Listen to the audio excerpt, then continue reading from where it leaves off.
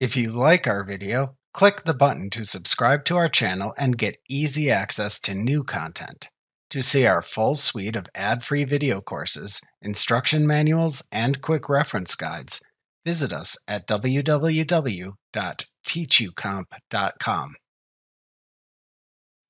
A form's tab order in Acrobat sets the order the cursor moves from field to field when users press the tab key on their keyboard when entering data into the form.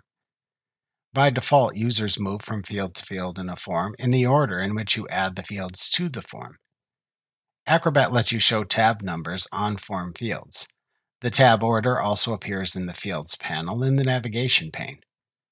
To show tab order numbers on form fields in Acrobat, open a form, click the Edit button in the top bar, and then click the Prepare a Form link in the Edit panel to open the Prepare a Form view and activate the Select tool by default.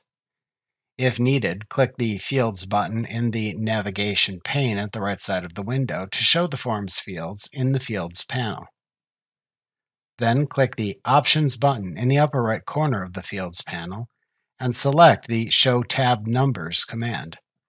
A dialog box opens and tells you how to manually set the tab order using the Fields panel. Click the OK button in the dialog box after reading the message.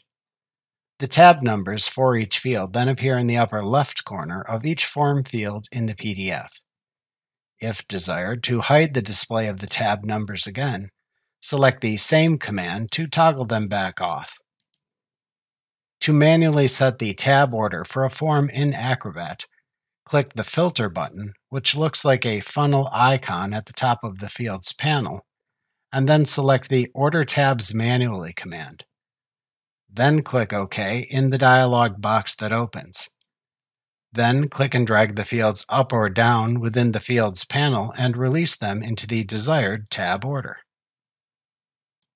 The order of the fields from top to bottom within this panel is the current tab order from first to last. Alternatively, to automatically apply a tab order to the fields based on their current form locations in Acrobat, click the Filter button, which looks like a funnel icon at the top of the Fields panel, and then select the desired automatic sorting choice. Order tabs by structure, order tabs by row, or order tabs by column. Remember to click the subscribe button to see more of our videos. See our full suite of courses, instruction manuals, and quick reference guides at www.teachucomp.com.